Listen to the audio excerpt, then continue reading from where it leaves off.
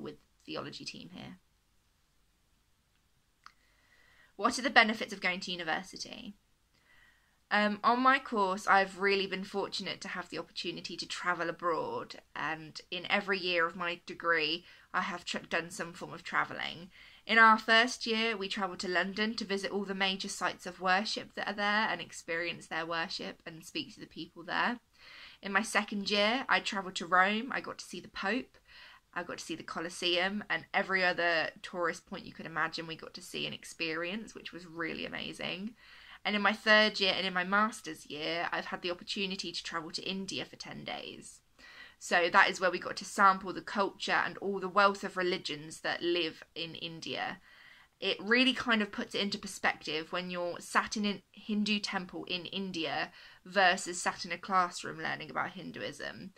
It allows you to remember it easier and it really immerses you in those experiences. And these are opportunities I wouldn't have been able to have if I didn't go to BG. And I really think that I will remember them for the rest of my life.